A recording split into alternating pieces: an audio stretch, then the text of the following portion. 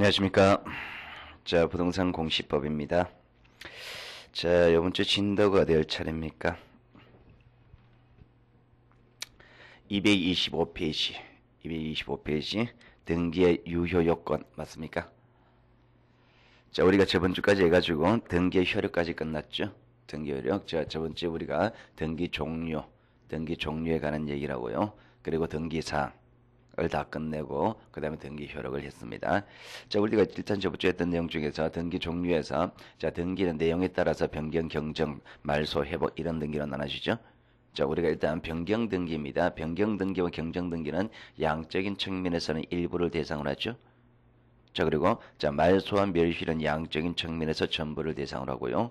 그리고 말소 회복과 멸실 회복은 양적인 측면에서는 전부 또는 일부를 대상으로 한다. 자, 그 다음에, 자, 원인의 측면, 사망의 측면으로 분석합니다. 자, 말소 등기는, 자, 말소 등기는 실체 관계가 없어졌을 때 행하는 거죠. 그리고 등기를 소멸시키는 겁니다. 멸실 등기는 부동산 자체가 없어졌을 때 등기부를 없애는 거, 소멸시키는 게 멸실 등기였고요. 말소 회복 등기는 등기가 말소됐을 때 그 등기 자체를 살리는 게 말소 회복 등기고요. 멸실 회복 등기는 등기부가 없어졌을 때 등기부를 회복하는 것. 그것이 멸실 회복 등기라 그랬습니다. 자, 그 다음에 이제 우리가 조등기와 부기등기 있었죠. 자, 조등기와 부기등기 하는 경우가 문제가 됐죠. 자, 언제 조등기를 하느냐, 언제 분기등기를 하느냐 분류 기준이 자, 세 가지가 있었죠. 일단 독립한 등기이냐 아니냐의 문제는 표제부, 각구, 얼구 모두에 적용되는 원리고 그리고 자 소유 얼구 등기는 소유권으로부터 파생되느냐 안 되느냐 여기서 따라 결정되고 그리고 압류, 가압류, 가처분, 경매 어떤 처분 제한 등기는 그 목적인 권리가 무엇이냐에 따라 결정된다 그랬습니다.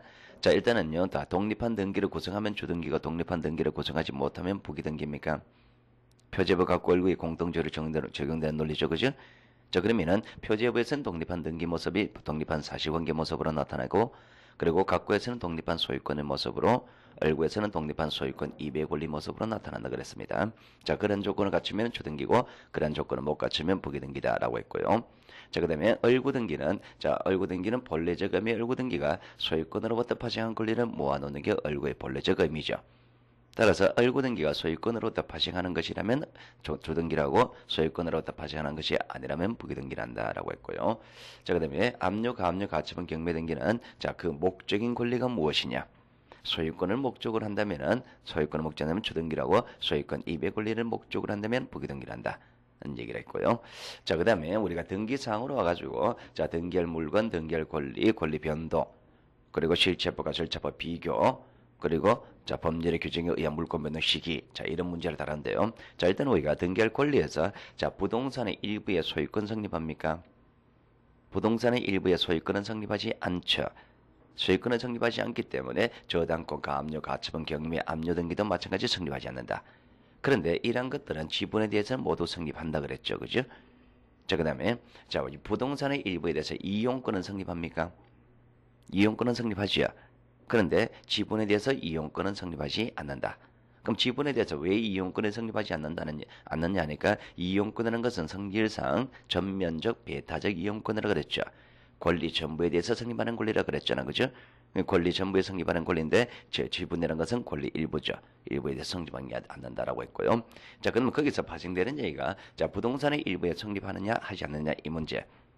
자, 부동산의 일부에 자, 소유권은 성립하지 않죠. 저당권과 압류, 가처분, 경매는 압류 안 되죠.